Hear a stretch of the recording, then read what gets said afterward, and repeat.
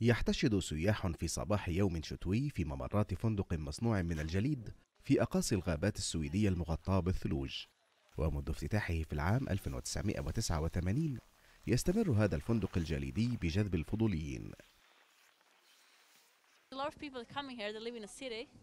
and there always have some kind of sounds and noise around you. Inside Icetel, it's completely quiet.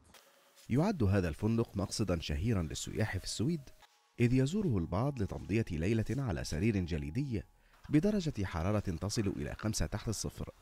متكورين على أنفسهم داخل كيس للنوم في حين يختار آخرون الزواج في داخل كنيسة تضم مذبحا مصنوعا من الجليد أيضا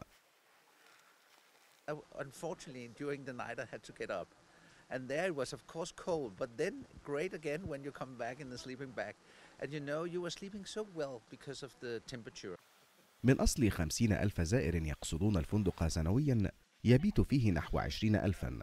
ويختفي الفندق في الربيع نتيجة الذوبان قبل أن يعاد بناؤه مجددا في الموسم المقبل